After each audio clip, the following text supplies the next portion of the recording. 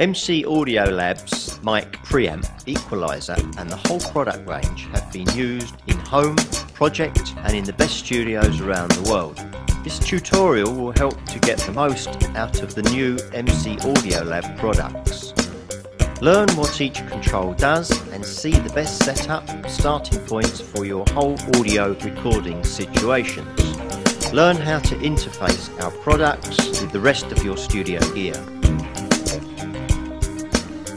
On this video, MC Audio Lab EQ1.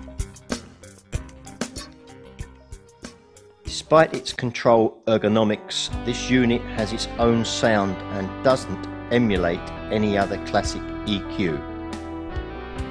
The unit features one single channel and three bands of equalization.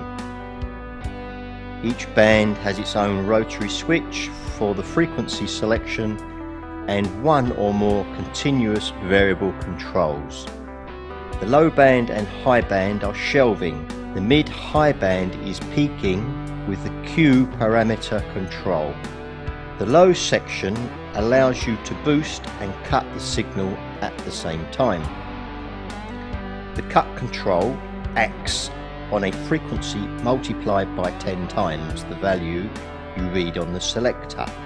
For example, if you select 30 Hz, the cut control cuts on 300 Hz. The boost control acts the same frequency you select. The displacement of cut with respect to the boost creates a very smooth musical curve without gaps. The high shelving filter features a cut control only. Frequency range is from 4 kHz up to 20 kHz. The mid-high filter is a little bit more complex than the other two. Its peaking and it also has the Q parameter variable. In other words, you can control the boosting and the bell width also. The shelving filters are both based on RC topology, while the peaking is RLC. The volume knob is a passive control. It is a continuous variable attenuator. The bypass switch allows you to completely exclude the unit from the signal path. It's a hard bypass. On the back of the unit, input and output on XLR connectors. The output has a ground lift toggle switch.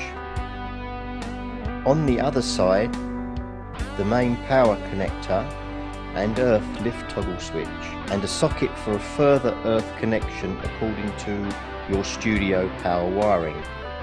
Let's give a closer look inside the unit. The input and output are fully balanced and the output only features a transformer while the input is electronically servo balanced. The EQ is completely passive but the makeup gain stage is tube based and working in pure class A. A huge custom toroidal transformer handles the main power assuring the right voltage to each stage Remember that the power supply of Class A equipment is absolute one of most important features as it's mainly responsible for tone and harmonic richness. Each unit we built is equipped by a sophisticated and reliable power supply section. All the electronics and wiring are carefully hand assembled. We are sure your tracks or mix will get better once you get your hands on this equipment. Check out our website for more details about this product, news, support and for our whole range products.